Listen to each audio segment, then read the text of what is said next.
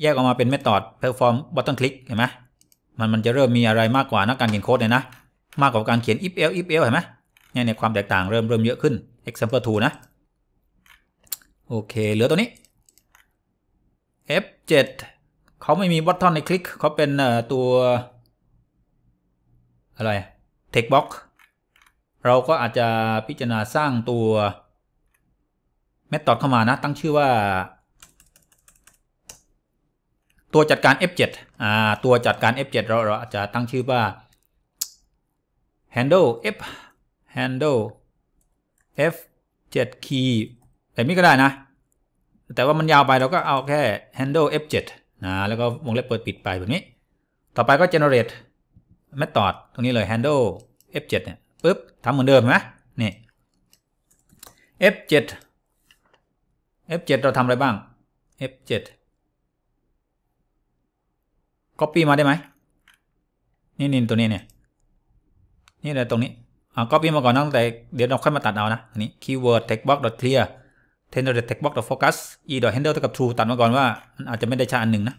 เพราะว่าไม่มี e handle นะครับยกเลิกการคอมเมนต์นี่ comment uncomment the select the line ปุ๊บ e handle ไม่ได้ใช้อ่าก็คือให้ clear keyword text box กระโดดไปที่ tender text box เนาะอ่าตรงนี้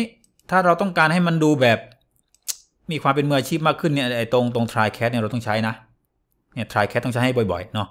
อ่าผมทำให้ดูอ่าแต่ว่าอันจะต้องเสียเวลานิดหน่อยแหละนะครับพิมพ์ t r y double tab แต่เราก็ใช้วิธีการ copy เอาเนาะ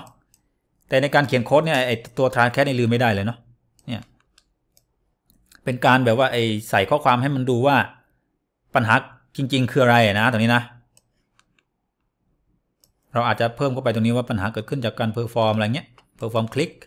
เนี่ยแบบนี้นี่ผมอาจจะใส่เงี้ยไหมทำให้ดูนะ handle f7 error เนี่ยผมใส่งี้ก็ได้เห็นไหมนี่เพื่อเป็นการบอกว่าปัญหาเกิดขึ้นจากการกด f7 นะนะโอเค เราก็ตัดคำสั่งมาไว้ในส่วน try block แบบนี้ครับเห็นไหมทุกจุดจะมี try try try try cat try cat หมดเลยเนาะ ตรงนี้เราอาจจะเพิ่มคำสั่งตัวตัว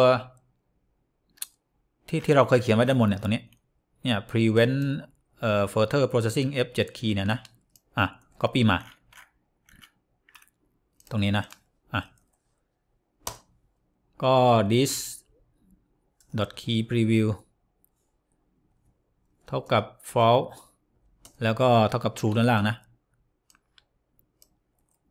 อ่า ตรงนี้ถ้ามันมี อ่า ถ้าสมมติว่าโค้ดแค่สองบรรทัดนี่มัน work แล้วนะ